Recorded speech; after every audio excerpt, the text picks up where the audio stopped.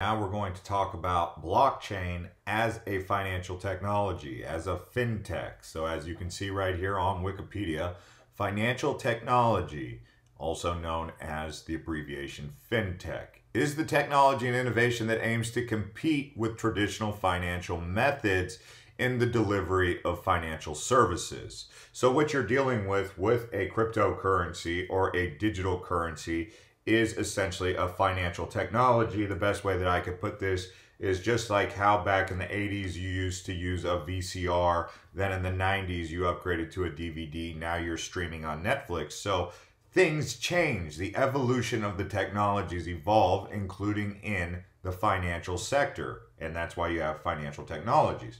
So when you're talking about a cryptocurrency, you're basically talking about something that's using a um, encryption. So that's what it is. It's an encrypted currency. So it goes by cryptocurrency.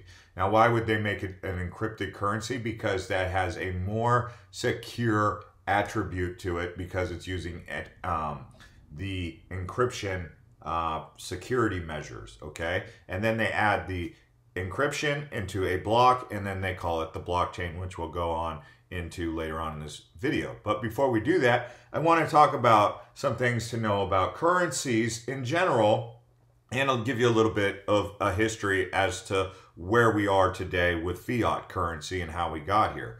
So, uh, what we used to have was what was called the gold standard. So, the gold standard was a monetary system in which the standard economic unit of account is based on a fixed quantity of gold.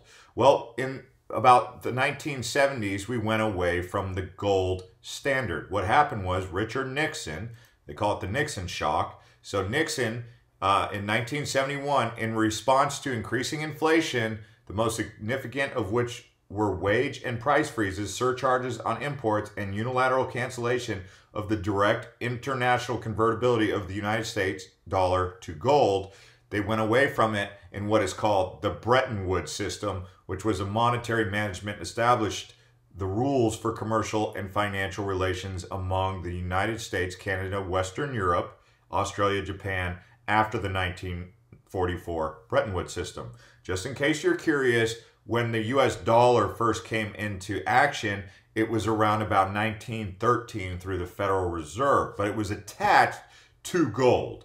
But as it says here in 1971, we went towards what is now called a fiat currency. So a fiat currency is a currency established as money often by government regulation. Now it's important to remember as of right now, none of these digital currencies or cryptocurrencies are run by governments. So that would be something to keep in mind as you're trying to understand if blockchain or cryptocurrency will become the future of money will it be widely adopted by the governments? Then there's some people who say we don't need the government. This is decentralized currency, money for the people, by the people. That's kind of another argument. So all I'm here to do is show you guys the information, to give you guys the things to be aware of when you're analyzing certain investments and the industry and the space as a whole. So fiat money does not have use value and has value only because a government maintains its value or because parties engaging in exchange agree on its value.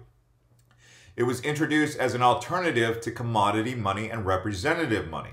So you could see how even the introduction of fiat currency was a uh, technology upgrade to what we had with the gold standard. Now, when it comes to the characteristics of money, you know, these are the six characteristics that a certain currency needs to have. It needs to have durability. Can be used repeatedly, whether digitally or paper or coin money. So it can be used, you know, you can send Bitcoin over and over and over again. And I can own one Bitcoin or I could trade it to you or sell it to you or exchange it to you, whatever you want to call the means of exchange. And then it has portability. Portability is that the money must be able to go with you wherever such that is easy to transport as people go from place to place or pl one place to another. So what that means is that with Bitcoin or any cryptocurrency, you have it on, maybe you have it on a, a wallet, uh, whether it be a paper wallet or a app wallet or an exchange or a Ledger Nano, wherever you store your money, it's kind of there. Now, technically they say you shouldn't hold it on an exchange because exchanges, although they seem like banks, they're not quite banks and they're not quite secure. So you have to find out how you would store the money, but you get the idea of how you can store it. So it does have portability, divisibility. Currency needs to be easily divided to enable a person to buy different products through a means of exchange. So as of right now, cryptocurrencies don't necessarily have that kind of uh, ability to exchange it because there's not a general acceptability like you have with uh, one of the other characteristics, but it does have the divisibility because there's a set circulating supply and then there's a total amount to ever be created. And so you do have a divisibility of it and you can exchange it. There's also the denominations of what is called Satoshis, which if I could compare it to anything would be like cents or to a dollar. So that's a Satoshi. Uniformity. The currency should be the same value and have the same characteristics. So that means that one Bitcoin universally is worth $9,476 at the time I'm making this video. And that's all Bitcoin that are in circulation have that same value. And then there's scarcity or limited supply, which applies to the um, the limited supply with a high demand. So there there has to be scarcity. You know, there can't just be this abundance amount of never-ending money, right? Because there has to be a cap. Right now, we're kind of dealing with fiat currency where they just print more and more and more and more money, so it doesn't really have that scarcity, but it still has the demand because it's already an established uh, currency model, right? And then we just talked about generally accepted. So um, you have those six characteristics of money. Now, when it comes to understanding the blockchain and how that works, so a blockchain, originally a blockchain, is a growing list of records called blocks that are linked using cryptography. Each block contains a cryptographic hash of the previous block. So you could kind of get an idea here on Wikipedia of how it works. And one of the things that makes it really interesting is this thing called decentralized. So it's using essentially AI, artificial intelligence, to create a peer-to-peer network. The blockchain eliminates a number of risks that come with data being held centrally. The decentralized blockchain may use ad hoc messaging pass, message passing and distributed networking. Peer-to-peer blockchain networks lack centralized points of vulnerability that computer crackers can exploit. Okay, so people who can crack open the system and get in there, and uh, you know, it's kind of interesting because there's also different types of ways that the blockchains are created. There's proof of work, proof of stake, which we'll touch on more in another video. But a blockchain is basically using crypto cryptography to create strong, secure blocks to make it impenetrable. At least that's what we would assume because it would take a heck of a uh, computation power like a supercomputer on really steroids to really try to penetrate and crack uh, a secure network like a blockchain. Okay, so when it comes to the currency in and of itself, you know, where do these where does currency come from? In the most specific sense, is money in any other form when it is used used in circulation as a medium of exchange, especially circulating banknotes and coins. So you could see how the advent of coins and paper money ultimately led to where we are now with digital currency, which we have here. And here in the United States, we use credit cards typically, or we pay online, do online billing, and most of the money actually exists online on a uh, on a spreadsheet. It doesn't exist in physical cash money. So we kind of already have digital currencies in this world, also known as e-cash, right? And it's issued by a central bank. For example, if you go to China or you go to Asia, you'll notice that they pay for things with their phones, kind of like what you have with Apple Pay or Google Pay, and not necessarily with a credit card. Credit cards are not very popular in Asia. So Asia is already kind of one step above where we're at with the credit card thing, right?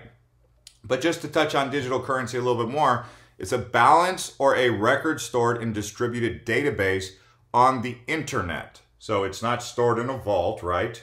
It's stored on the internet, essentially, if you were to think of it any way that I could best explain it, on a spreadsheet.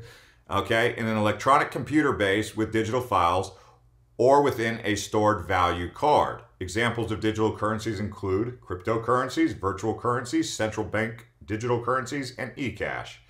So digital currencies exhibit properties similar to other currencies, but do not have a physical form of banknotes and coins. Not having a physical form, they allow for nearly instantaneous transactions. So, for example, if I needed to send $200 to my friend in Germany in 1980, I would have to put it either into a check or I would have to send the cash through the mail service carrier and it would arrive in however long it took to get there, whether it was two days or 10 days or 20 days, whatever the case may be.